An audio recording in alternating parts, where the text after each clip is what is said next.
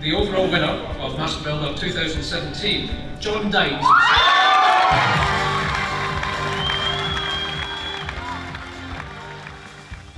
For me, the thing that people probably will remember most is that fireplace with that cantilevered chimney hanging over the opening.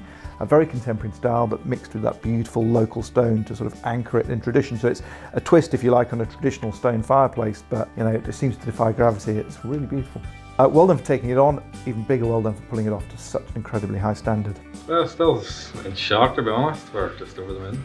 We'll get the party started once we get home. well, it's good to go and say to a client that you're the overall UK winner. So. Well, probably the client we're working with to help because they knew what they wanted and this chap here gave it to them.